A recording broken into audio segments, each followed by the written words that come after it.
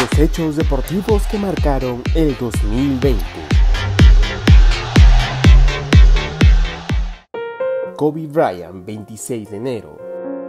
La estrella de la NBA, Kobe Bryant y su hija Yana fallecieron en un fatal accidente de helicóptero, una noticia que conmocionó a los Estados Unidos y a los fanáticos del baloncesto de todo el mundo.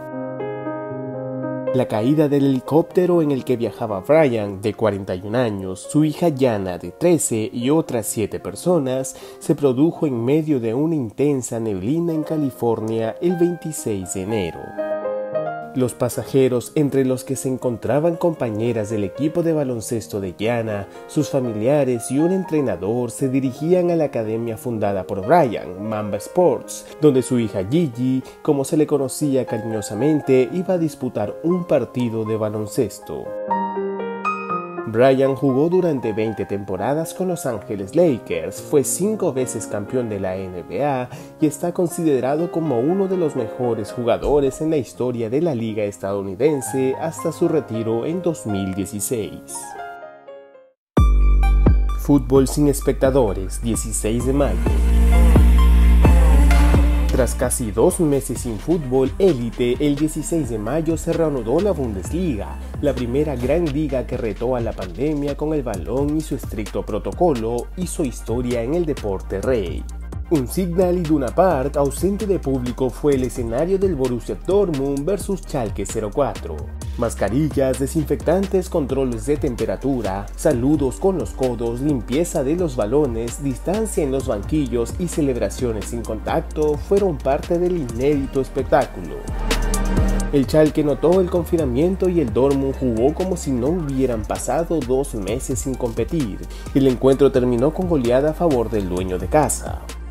El martes 16 de junio, el Bayern Múnich se proclama campeón de la Bundesliga después de vencer al Werder Bremen por 0 a 1 gracias al gol de que se convertiría en el The Best 2020, Robert Lewandowski.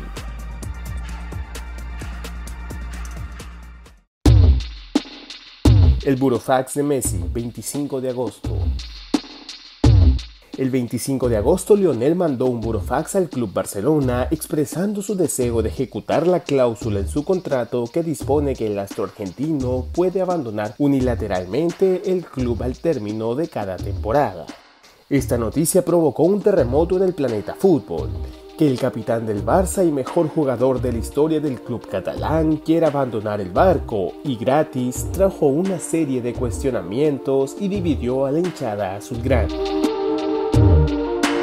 la llamada a Luis Suárez en la que el nuevo técnico Ronald Koeman le comunicó que no contaba con él fue la gota que colmó un vaso que venía llenándose en los últimos tiempos. Messi se quedaba sin amigos en un club que se venía abajo cada vez que intentaban competir por la Champions League, el máximo anhelo de Leo en los últimos años. La reunión entre Bartomeu y Jorge Messi, padre del jugador, no dio lugar a ninguna salida limpia. Si Leo quería dejar el Barcelona, sería abonando los 700 millones de euros de la cláusula o en medio de un litigio.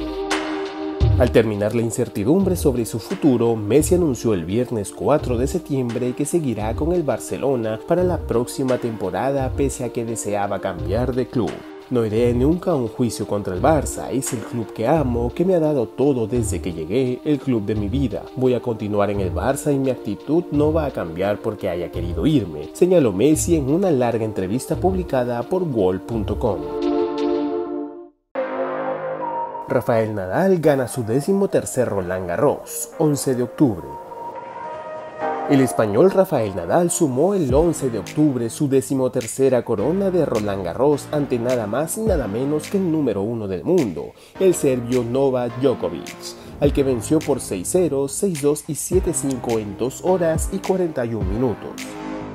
El español igualó al suizo Roger Federer, quien también tiene 20 títulos de Grand Slam. A sus 34 años, Nadal ganó también el Roland Garros del coronavirus, desplazado a otoño con frío y humedad que mermaron sus condiciones, sumando a esto el escaso público en las gradas como parte de las restricciones sanitarias. Sin embargo, en ese contexto mantuvo la jerarquía de un torneo que ha convertido en suyo.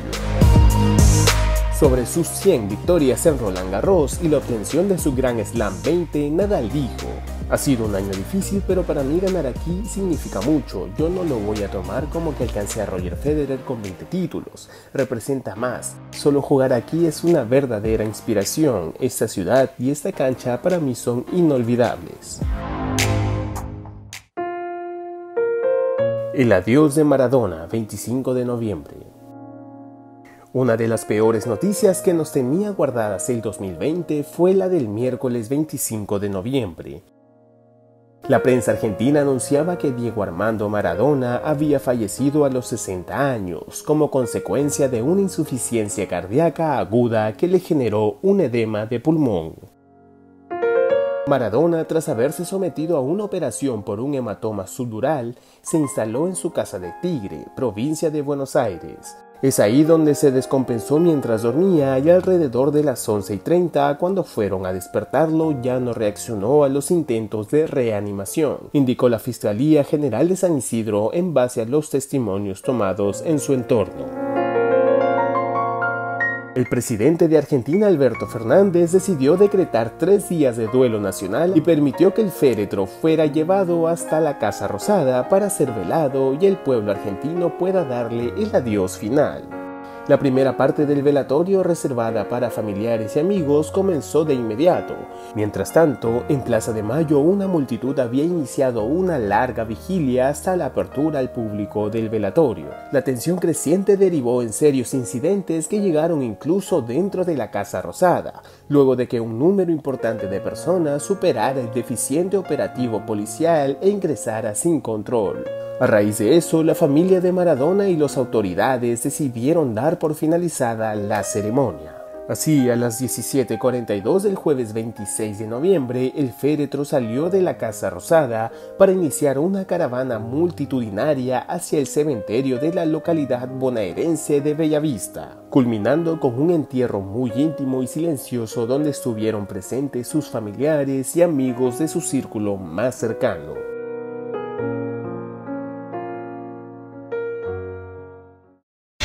Por estos y otros acontecimientos, el año 2020 será recordado, no solo por ser un año que cambió nuestro estilo de vida y la forma en que disfrutamos los deportes, sino también por un año donde perdimos a grandes personajes que se convirtieron en leyendas. Y para ti, ¿cuál fue el momento que más recordarás del 2020?